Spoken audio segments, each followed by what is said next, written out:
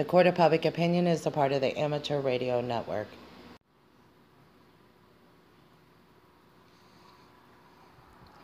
All right, so we just did a final broadcast of the Moonlight Lounge, and I thank God that we've been able to do that because from here it's open mic and we can just kind of shoot from the hip. Let me say something to those people, and I, I'm going to say this with all due respect. I know there's a lot of people who are well meaning or chasing after the big story regarding abuse victims and survivors. I'm going to say this one more time. There are people in comment sections that have no business interrupting people's lives like this. Okay, it's one thing to have a cause.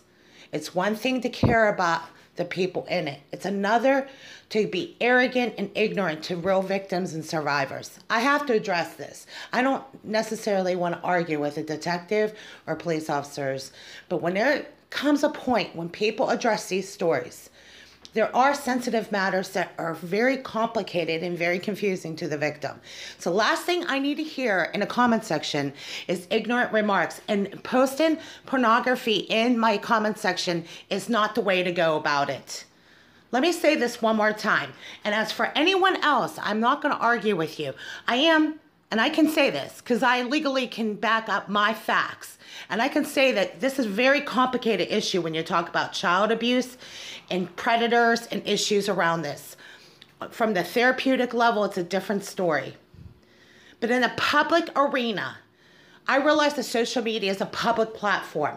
Okay? We put it in context, the court of public opinion, because it belongs here because there are standards and there are principles here that a lot of people are ignoring. They're chasing after the story. I get the people that are in the public arena that have these issues. That is a legal matter. That's one thing. But when we talk personally about what's going on with the families that are coping with child abuse and sexual abuse, okay, in context, I recognize that a lot of people are patting each other on the back for good hard work. But one time or another, you're going to recognize the victims and survivors, and that would include some of us. I respect the fact that people are working hard, but you seem to be forgetting about the survivors and the families. First of all, no one's asked permission of the victim survivor if it's okay to go there. And let me say to those people that, and I appreciate there's a lot of good people with a lot of great channels, but some of your subscribers and some of the comments they make is uncalled for, okay? There are people that have really suffered here. And I know that you all have a channel and you can also block some of your comments out of your comment section. There are ignorant remarks made towards victims and survivors. It defeats the whole point of helping victims and survivors. If you're going to really help victims and survivors, start showing that you're really there to help them. Instead of chasing after investigations and stories, and yes, I'm going to point out the obvious. I know it's an important issue. You can't take it upon yourselves and, and you know and, and argue with a victim and survivor. Okay, please understand that. Okay, there are complicated concerns here. That's why there is a certain amount of privacy that we would ask that somebody, some of you take in consideration. Yes, you have titles and professional, and yes, you applaud each other. Yes, you invite each other into your talk shows. Yes, you guys hold leadership positions. So I have a higher expectation of you guys. Okay? Just like you would have of me. There are principles here. Who am I? I'm going to tell you who I am. I am the granddaughter of a Pittsburgh police attorney in the 1960s. Yes, our case goes back that far. I know these cases.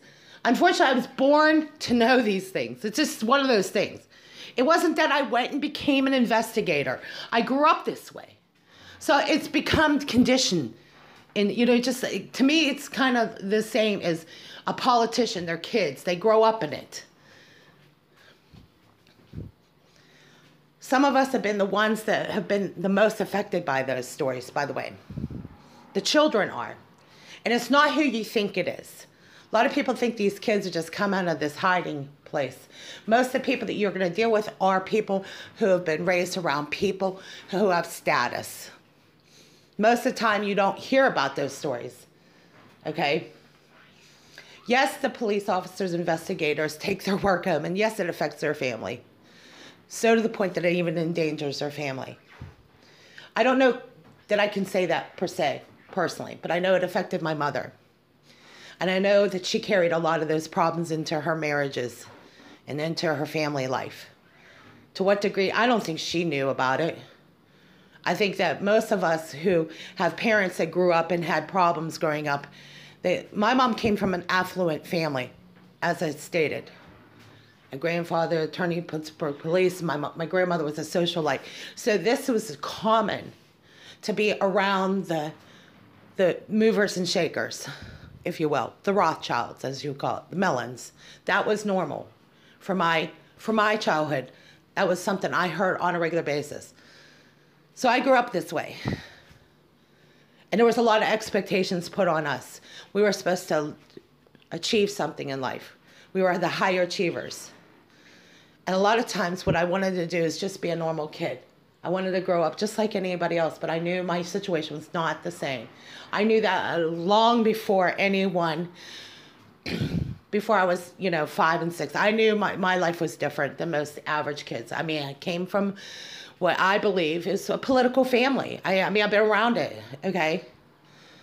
And, you know, I wanted to have as much normal, but you couldn't put me in a situation. I, it just, my dad once told me, he goes, You're going to stick out like a sore thumb. You're not a common person. I am not a common person. I'm going to introduce myself, really, who I really am. And I'm going to tell you a little bit about me, other than the fact that I just what I addressed. I'm a third generation countess. My family comes from, that rooted in Austria and Czechoslovakia. My, my great grandfather it has a castle of all things, so I find, I find that funny. Uh, you know, I always try to adapt to the norm. I, I knew I couldn't, okay? It was really hard. I look, you know, oftentimes people said I was a lot like Princess Diana. I was very shy and backward. But when I grew up, that was what I knew, okay? I knew that I was still, an, as an American, I grew up and I, I've been around this all my life where that's what I heard, you know? I didn't know until years later, I recognized that. When you hear the word, the Mellons, the Rothschilds, that just becomes normal. I don't really think much of, of it. I didn't even really understand all the topics that I hear on YouTube. I didn't know all that. I didn't understand that. I just try to live as much of a normal life as possible. But I didn't really tell people who I was. And not that I was going under disguise, because that's not what I was not, not trying to be incognito, but I was trying to adapt to a world that would not understand where I come from. And I, I found out that to be true every time. I grew up in, you know, around people that are affluent. I mean, that's the way it is. So for me to be poor and hungry and struggling and ask for help, that was so not like the way I was raised. You were raised never to accept a handout. You are from the elite family, and elite families don't reach out and they don't end up on poverty. They don't end up on food stamps. They don't end up broke and struggling. But for me, that all changed in 1984 and 85. And when I hear these comments made by people who seem to think they know all about the issues regarding child pedophilia rings, I didn't know this stuff. I didn't understand. I still am learning to put this all together. I didn't have any elaborate career. I didn't have anything. I just was trying to do my best to graduate high school. And I see how many people will dump their friends over really minor, petty things. And I'm sad to see that. I'm sad to see that none of us have really overcome or outgrew some things. I see it on Facebook, I see it on social media all the time. So really spare me. I don't want to hear your comments. If you're going to put degrading comments below, save it. This is only a conversation for people that want to hear it. I don't have time to be patting anybody on the back and applauding. You have no idea what the things that some of us have encountered. And I'm going to speak to those people that make those ignorant remarks in the comment section. I don't have time for your comments. You could go take a hike. And if you have people on your subscription list, I would ask you nicely if these people are going to participate in a conversation that is so serious that the, the, the, the last thing I have time is try to explain myself to you, all of you in some of your comment sections with some of your subscribers. They're not my subscribers because I haven't had, had only on a couple occasions and I've blocked them. I don't have time for this. what you have going on and some of the issues that I've dealt with. I can't speak to the ones that are current because they're not legally, you can't really argue a case until you actually have physical evidence. At least in our case, we can. We can argue our case because we went through the agonizing process of going to court. Yeah, and when they start attacking people and when they start charging people with child pedophilia, when somebody's been wrongfully accused and the pedophile is take, you know, gets off lightly, and instead of arguing the case that which really needed to be argued in in many of our county courts, and I could say this because at least I can say I can use some of the illustrate the point that I am from a family like this. I was supposed to be an attorney. I was supposed I should have been the commissioner of the Pittsburgh Police. That's really where I should have ended up. But that's not how it really works out. You know what I mean? When you talk about the crime, the sex crimes against children, when you talk about sex crimes against families, how, how it wrecks a home, wrecks a family, and then I read these comment sections, no wonder we're not getting it anywhere. No wonder the victims don't get justice because people have idle time on their hands to criticize and attack the wrong people. And if you're really there to support victims and you're not going to be critiquing every word I say, I don't have time for this. There are victims that really need to be rescued. Yeah, I do not have time to entertain people that are just spending their time interviewing each other and applauding each other. You really haven't done the real work. Many of us have already done the work, and I applaud Honeybee. I did the work that Honeybee did 20 years ago. So, no, this is not a crowd pleaser. I don't know how you end up there.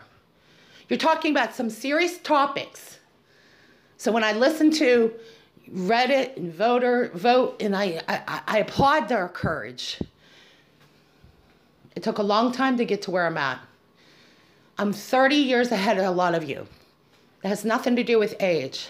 It has nothing to do with experience. This is one area I understand better than anybody. And I, I'm doing this with respect to consider that people really take in consideration the kind of crimes that you're dealing with. When you deal with sex crimes, when you deal with children who have been running away from home because of abuse, the last thing I need to be listening to is somebody in your comment section, and I'm listening to some of you, and I, I follow your, I subscribe to your posts. You don't know have to know, you don't know who's subscribed to your posts and who's watched your posts, but there are people that are important to have, and I can attest to that. I, I I'm, I'm kind of dis, disappointed. I will say that. I see how people easily just chuck things off as nothing. You understand that there are people behind those faces and that there are emotions and are people really upset about this issue.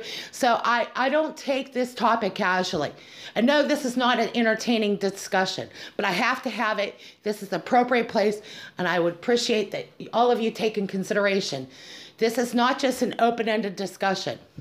What you see going on in the public and what you see is going on privately are probably very different. No, there are victims that really are in cages. There really are victims that are left in these situations. And it is life and death. And I don't have time for this idle, petty conversation, petty fights on Facebook. I don't. And no, nor should any of you. I take very serious to this issue. So when I have people debate with me, I'm sorry, but I have the case logs right here. And I have the files, and I have the child abuse files right here. You can't argue with me with these cases. I know what's going on. And I know that the county turns their back at these things. I know that they would rather look out for the, the foster father if he's charged with abuse. I've seen it firsthand. I saw that a foster dad hit my, my brother. I see what they do. I see how some of you are when you attack somebody. How dare you? You have crossed the line. If you want to help, that's one thing. But if you want to attack people, take a hike. Go, leave, do whatever you want to do. But don't attack me and then start sending pedophilia posts and, and arguing with me on this issue. I know this issue better than some of you ever. I've been doing this long before some of you even came out of diapers. So please spare me with your smart ass remarks. I don't have time for it. I have I have done this. I've I've gone gone to bed my heart palpitating for the for the danger that we faced. So I don't have time for this idle chatter. With some people that they, they cloak themselves, they pat themselves on the back. Good for you. You're doing a hard work, but you have no idea what it is to go to bed at night and wake up knowing that your sister and your children or somebody in your life is missing. So I don't have time for you idiots. I don't have time to argue with you. You want to argue with somebody? You argued with the wrong person because we lived it. I woke up two weeks wondering where my sisters were, missing. So I don't have time for this idle chatter. If you have time to sit there and dismiss me, good luck. Good luck to you because it, it, it ends here. You aren't going to get any closer to somebody that's been missing. I was a missing person. I understand this issue. So I don't have time for people to blow us off. I don't have time for you either. You know, I, I can do the same thing that anyone else do. You want to challenge me? When I walk into a room where a man is putting a gun into somebody's head, that man had to be, that, that was raped. That young man was now older. And we confronted his pedophile in Reno, Nevada. Some things happen for reasons. I don't know. I don't know why I walked in on it. Luckily for me, I was never molested, thank God. Luckily for me, I had enough of a healthy home environment that I didn't have that experience. But for some reason or another, like I said, where I started and where I end, some things you're just born to do. I didn't ask for this privilege. This is not a privilege to me, but it's a privilege to work with the victims and survivors of pedophilia and child pornography. I have been doing this. I've wrote some of you emails. You just don't have time to talk to me about it. But you have time to talk to entertain yourselves and pat yourselves on the back. I want to see when you guys are really going to do something rescue. Don't talk about it. This is not about getting more subscribers and likes. Please. You're here to help the victims, that's one thing. But some of you guys go on and on about how hard you're working. I know this is hard work. No one asked you to do some of this. But some of you, you take volunteer for something. You want credit, you want all this credit. The credit belongs to the real survivors, the real people that are doing the survivor therapy and work. The county courts, the, the attorneys, the, dis- the district attorneys, the child advocates, the ones that really do the reports, not the people just on the internet. But I, I congratulate those people because it's a privilege to know there's people courageous enough to confront this. Because every family, every parent should know how serious this issue is. When there, when it comes to missing children, it should be a priority. And no, I do not have time to argue with people from high school who disregard me. They didn't know, they didn't take the time to get to know me then. Spare me. Go ahead and unfriend me. I don't have time for this. I know how serious this issue is. And I know there are parents right now that have missing children. That should be your priority. I worked with the Jessica Lunsford Foundation in 2009. I had no idea I was going to be in the situation I'm in today. I had no idea. So when people are ignorant with me, they don't know anything about me. They don't know the important issues that we face. So no, I, I have to keep it in perspective. But I have to, I don't have time for idle chatter. I don't I don't want to do it. I did a radio show because that's what I wanted to do. That's really my career ambition. But this is something different. When I start to see kids that are missing, and the epidemic is growing every day, and all people have they don't have any time to go find these kids. They don't have any time. They have plenty of time to chatter and talk among themselves and criticize and critique somebody you're better off just finding something to do. I guess because people freely can go on the internet and say what they want and don't think there's any consequences of that. I hope that's not the case. See, we grew up in an, in an era where you still respected people even if you disagree. But at least we're going to tell you like it is. We're going to tell you straight, shoot straight from the hip. We're going to talk to you directly. There is no passive remarks. I don't have time to applaud people when they're abusing children. I don't have time to give them praise. They didn't earn that praise. So when I see people that are giving people too much credit, I mean that. No, I don't have time for people to give each other credit when there's nothing been done yet. You know what? When some of you can really prove that there's something to be done that's been done here, then we'll talk about praising people. But this, all these, all these investigations, what people need to keep in mind is about the victims and survivors. It's not about you. And if you make this about yourself, you're really not in it for the right reasons, okay? Check yourself daily if this is something you can do, because I don't know that any of us could stomach it. See, we walked in on it. So we were confronted at whether we wanted to or not. If I had to make a choice over this, I, I, I don't know. I don't know. because I've cried a lot of nights and I've lost a lot of friendships over this. Yeah, and some of them, I don't know where they are. I know I've also been attacked for not, for, so many stories and so many things that have been told about me. And I, I personally don't have time for it. I know at the end of the day, we saved kids' lives. And at the end of the day, we successfully saved these kids' lives. So when people talk about us and make comments about us, take a hike. Because we actually can account for the lives that we saved in this. And I see a lot of people taking credit.